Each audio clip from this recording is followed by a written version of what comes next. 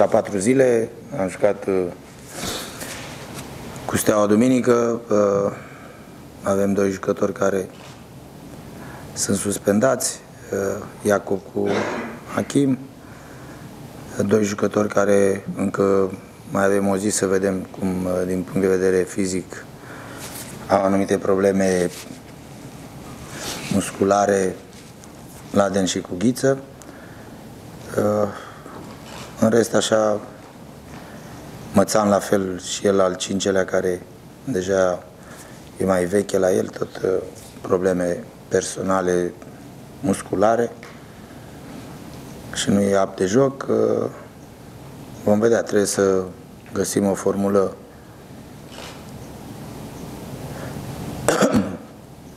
care să de la să ținem ritmul și intensitatea pe care am obișnuit în ultima perioadă.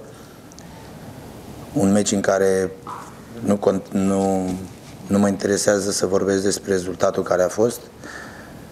Uh, pentru noi începe de la 0-0, trebuie să-l câștigăm. Trebuie să avem acest spirit. Uh, o să uităm uh, meciul de la Craiova, meciul de ultimul care a fost acasă. E un meci total diferit, cu uh, altă încărcătură, cu ei care o să vină să, să joace, să te atace așa cum au făcut-o de fapt, că ei sunt o echipă care totdeauna au știut să atace și vor să atace și vor să câștige, să marcheze goluri. Și noi care uh, trebuie să producem uh, rezultat pozitiv, acela de a câștiga, de a încerca să câștigăm meciul, pentru că celelalte pentru mine sunt pe același lucru, pentru mine sunt uitate și același lucru l-am transmis echipei.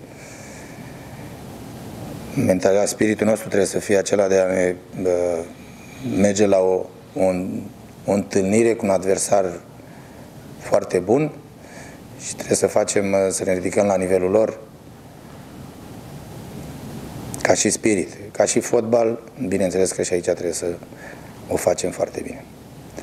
Cele două aspecte poate să ne ducă la, la să trecem turul, să putem să jucăm finala. Doar dacă o să fim conectați pe cele două aspecte foarte bine, jucătorii trebuie să, să dea tot ce au mai bun, să fie atenți, să fie inteligenți în teren, să alerge, să alergăm mult, să jucăm fotbal când avem mingea foarte bun și conectați la maxim.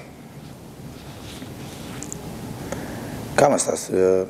În rest, starea aceea de... A fost un meci cu Steaua care ne-a lăsat anumite probleme legate de, de efortul care a fost făcut foarte mare, dar avem alți jucători, avem ceilalți jucători care sunt și care sunt, au și prospețime și sperăm să nivelul lor să fie la, la nivel foarte bun. Mâine. Cam asta. A treia partidă în luna aprilie cu Craiova. Diferența dintre cele două de dinainte ar fi ca un antrenor nou pe banca tehnică. Credeți că va influența acest aspect? Nu, nu, trebuie să vorbim de meciul acesta, că e clar că joci acasă și trebuie să produci rezultat.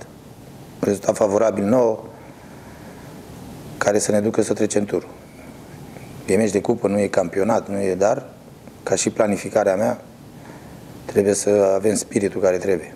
Spiritul și, și un joc foarte bun, pentru că întâlnim o echipă capabilă ce să mai o echipă bună, puternică. Noi am făcut-o mai bine ca ei pentru că am, am jucat mai bine, am făcut-o mai bine. Acum sperăm să o facem și de data asta. Mai concret, mai pragmatici, mai uh, pe teren, pentru că meciul are 90 de minute, 90, vedem, poate și mai mult, nu se știe. Se întâmplă atâtea de multe în fotbal. S-a întâmplat și cupe europene. Deci e posibil, dacă nu ești pregătit, nu ești conectat, se întâmple lucruri care, adică goluri multe. Eu aș vrea la meciul de mâine goluri nimic, nicio, niciun gol. e singura oară când îmi doresc să nu se marcheze. Dar cu siguranță sunt sigur că nu va fi așa. E doar așa o, un gând al meu, dar nu cred că va fi așa, că spiritul ambelor echipe e altul. Și atunci se va întâmpla probabil că vom marca. Și noi și ei. Venirea lui Paul, credeți că a schimbat în fel?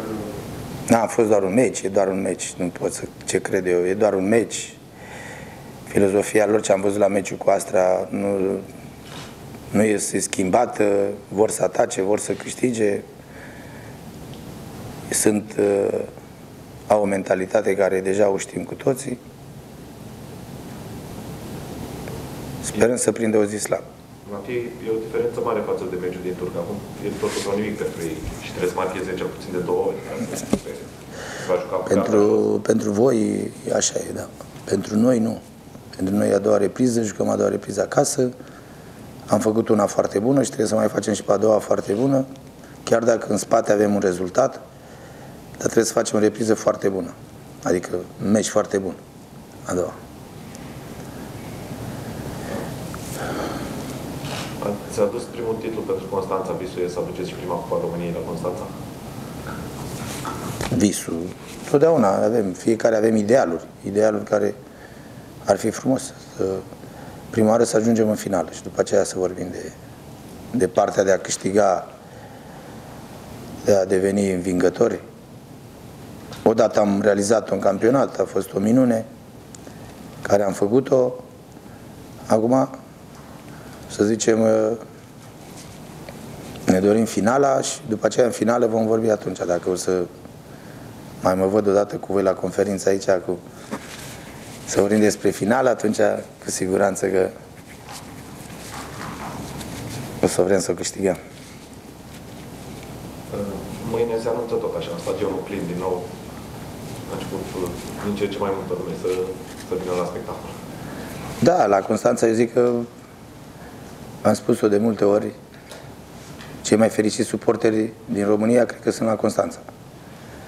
Pentru că în ultimii 10 ani, punctat, deci în ultimii 10 ani, cei mai fericiți sunt la Constanța, pentru că la juniori au văzut echipe campioane, care au câștigat titluri, la seniori echipa a devenit campioană, a jucat un fotbal foarte bun și cred eu că n-au de ce să nu fie bucuroși și fericiți.